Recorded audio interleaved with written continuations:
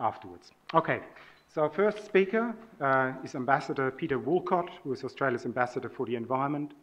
As part of his portfolio, he leads Australia's negotiations under the UN Convention, uh, Framework Convention on Climate Change.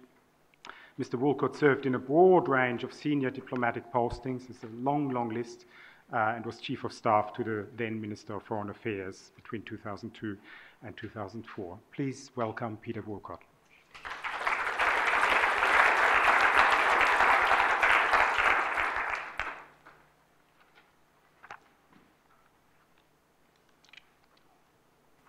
Uh, thank you, Frank, and, and the Crawford School for the invitation to be here with you today. It's good to be back here at ANU, where I studied many years ago. It's also a pleasure to be speaking to such a knowledgeable audience and one so actively engaged in driving the climate change agenda. After I speak, David Gruen will talk about Australia's domestic processes to develop Australia's post 2020 target and some of the policy options we're considering. So, what I want to do today is provide the international context for Dr. Gruen's remarks by talking about progress on a new climate change agreement and post-2020 targets, and to give you a sense of how Australia will contribute to the global response in a way that is responsible and fair. As you know, 2015 is a crucial year for the global response to climate change. So, uh, what is it that we want to achieve in what I might call the Paris Project? The first part of the Paris Project is securing a new global climate change agreement under the United Nations Climate Change Convention in Paris in December. The Paris Agreement should create a common platform for all countries to contribute to global efforts to tackle climate change from 2020 and ramp up their efforts over time. So, what kind of agreement will help to achieve this, and what should this agreement look like? First, the agreement should be applicable to all countries with a common playing field for action. The new climate, uh, global climate agreement must deal with the current and future global distribution of energy use, emissions, and wealth, which has tra- changed dramatically over the past two and a half decades and will continue to change this century. It shouldn't replicate the status quo under the Kyoto Protocol, where action on climate change depends on countries' level of development in 1992. The Kyoto Protocol now covers just 37 countries and 14% of global emissions. In 1992, the OECD developed countries and Russia accounted for 65% of the world's energy demands. Today, their share is now less than 50%. In 1992, there are only three developing countries in the top 10 emitters. Today, there are six, and overall, developing, developing countries now account for three fifths of global emissions. So, looking forward, the International Energy Agency tells us developing countries will have to achieve over two thirds of global mitigation by 2030. This changed reality goes beyond emissions. Developing country GDP has surpassed developed country GDP. By the end of this decade, for example, China will surpass the US to be the world's largest economy, and India will move past Japan to be the world's third largest. So, if we are serious about taking effective action on climate change, we cannot afford to perpetuate a bifurcated system that excludes the ever increasing majority of the world's economic and emissions output. We need to have a realistic footing for a future action that reflects the realities of the world around us.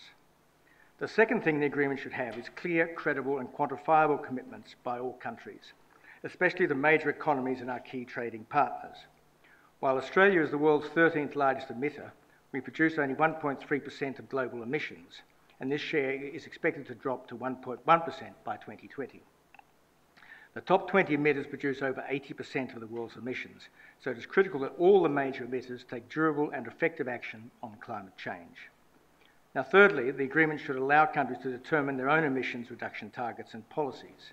There's no way that each and every single country's targets and policies can be negotiated between the 196 parties to the UNFCCC. They must be nationally determined. And countries must have ownership of their targets and policies in a way that supports strong and effective action over the longer term.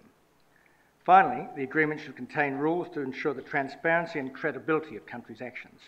This is crucial so we can compare countries' efforts and make sure their actions are real and genuine. There's a long road ahead in the negotiations to secure such an agreement in Paris. We started the year with a week long negotiating session in Geneva in February with two new co chairs, the United States and Algeria. They favoured accommodating all parties' views to build confidence and trust in their handling of the process and foster ownership by parties of the draft text. Parties were given the opportunity to add to the text carried over from Lima, and they did this with alacrity. As a result, the draft text has doubled in size to 86 pages with over 300 paragraphs. It is now a wish list of all the things parties want in the agreement. The big challenge, and it is a big challenge, is now to streamline the text into workable options on each of the key issues. While I'm relatively new to the climate change, I have spent some time up to my elbows in other UN negotiations, and I expect this will be a long and slow moving process. Parties will be reluctant to let go of their ideas and make concessions until later in, or late in the negotiations. But this process is critical as it will give us a sense of where the political landing zones might lie. We're already starting to see senior political engagement from France and others, and this will be crucial to the final outcome. It will also require a strong role from the co chairs.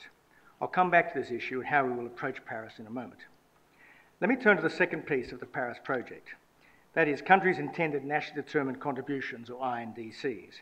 This, of course, is the post 2020 targets. Parties to the UNFCCC have agreed to submit their INDCs well in advance of Paris, to quote, in a manner that is transparent and helps to provide clarity and understanding of their contributions.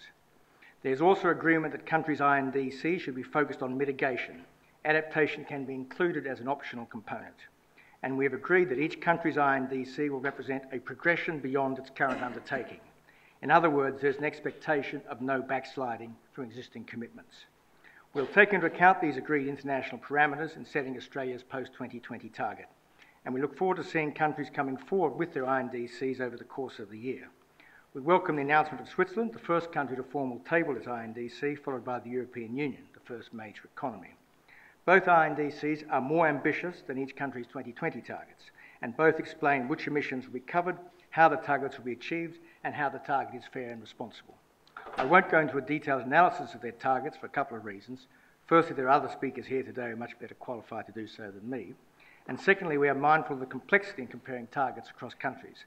There will be differences such as starting levels of emissions, base years and end years, and different national circumstances and economic structures. We'll obviously look at the detail of these targets and those of other major economies, in particular the US and China, as we consider a target for Australia. We'll also look at the actions of Australia's key trading partners, particularly those in the Indo-Pacific region. We understand the challenges that these emerging economies face in balancing their respective priorities in setting a post-2020 target. This is why last week my department hosted a workshop in Canberra to assist Indonesia, the Philippines, Thailand and Vietnam in their target preparation. One question which I'd like to touch on briefly is whether the country's targets, and indeed the agreement itself, will be legally binding. This is, of course, why the C in INDC stands for contribution and not commitment. Australia is approaching this issue pragmatically and maintains an open mind. As I said earlier, the most important thing is to have all countries take action from a common platform and implement their actions back home. So, one approach could be the targets themselves are not legally binding, but the agreement itself, specifically the requirement to come forward with targets, is legally binding. For Australia, setting a post 2020 emissions reduction target will be the focus of our target setting process, but we'll also consider other important aspects of our climate change response, including adaptation. We know that the world is already feeling the impact of, climate change, of changing climate, and we also know that Australia will be vulnerable to these impacts. All levels of Australian government will have a role to play in this response.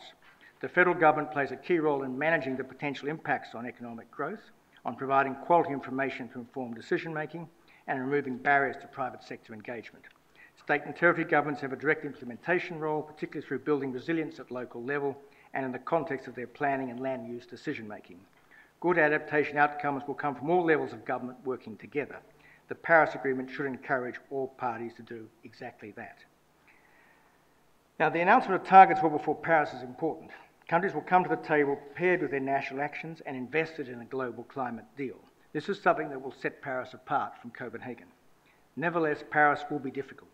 There are still issues that will be tough to resolve, such as how to move past binary differentiation of developed and developing countries, and how to best support climate finance and adaptation efforts at the national and international levels. Now, I've already spoken about our approach to differentiation, but on climate finance, it is important to emphasise that Australia continues to support the collective goal agreed at Copenhagen to jointly mobilise US dollars 100 billion per year by 2020 from public and private sources to address the needs of developing countries.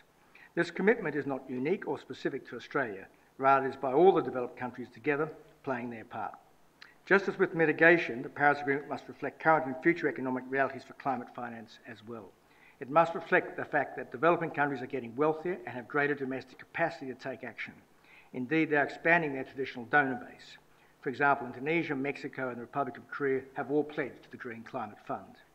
It must also reflect the fact that the private sector will play a significant role in the, in the implementation of action under a new agreement and is already the largest source of international climate uh, finance, international climate finance. International private capital does not differentiate itself along static lines. It is focused on outcomes. Governments clearly have an important role in shaping the economic conditions to enable and catalyse such investments. But the reality of that role will be to facilitate these investments by removing barriers to investment and creating appropriate enabling environments. Public finance is inherently finite, finite, so it must be well targeted. We also recognise the importance, especially for the most vulnerable countries, of building resilience and effective adaptation to prepare for climate change impacts. This is a priority for Australia's aid program.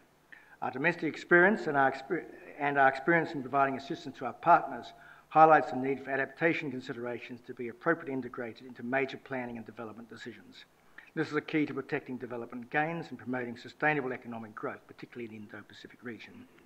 While the Paris Agreement should focus on mitigation, we recognise the need for adaptation to be appropriately recognised.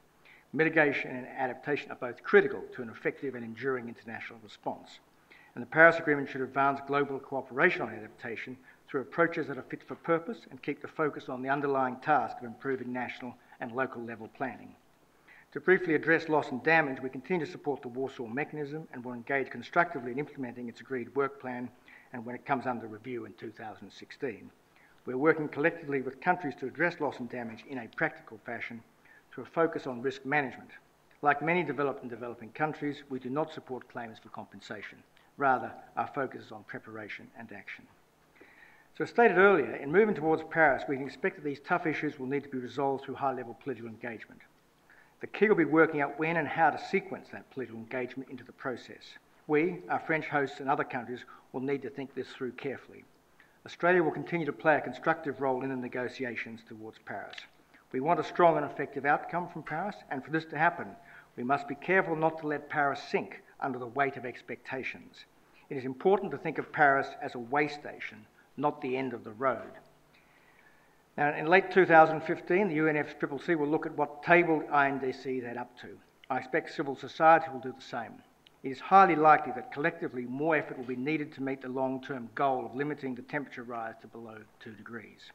But what Paris can deliver is setting us on the right path forward by setting up a platform that sees all countries committed to acting together and building climate action in a predictable and lasting way. And this is what I mean when I talk about the Paris Project.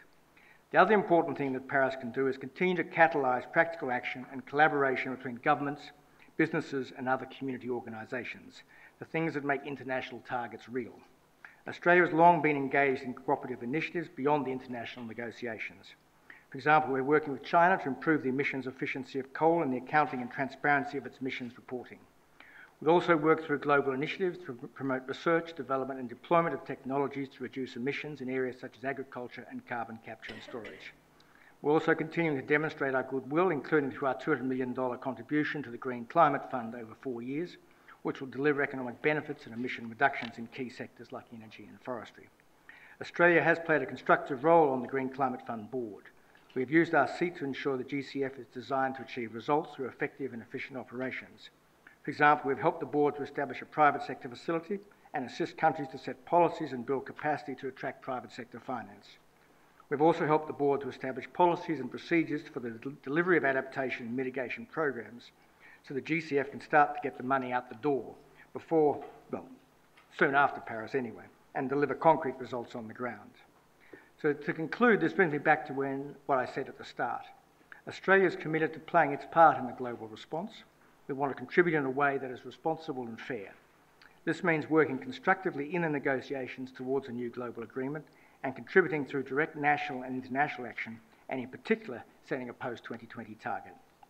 We've already achieved much. Australia's per capita emissions have fallen by one quarter since 1990, and the emissions intensity of our economy has fallen by one half. We've delivered on our first Kyoto commitment, and we're on track to meeting our 2020 target, which represents a 12% reduction on 2005 levels comparable to the US commitment for the same period, despite continued population and economic growth. Our challenge is to take effective climate action that is consistent with strong economic and jobs growth, provides long term certainty to businesses, and strengthens our international competitiveness, and to communicate what Australia can realistically achieve given its unique national circumstances and characteristics, including its resource endowment and economic and population growth. There will be different uh, views in government, business, industry, academia, and the wider community about what this means and how to achieve it. And we welcome all of these views in our preparations for Australia's post 2020 target. I look forward to hearing some of these views today, and I'd like to thank you and the Crawford School for your contributions to this important debate. Thank you.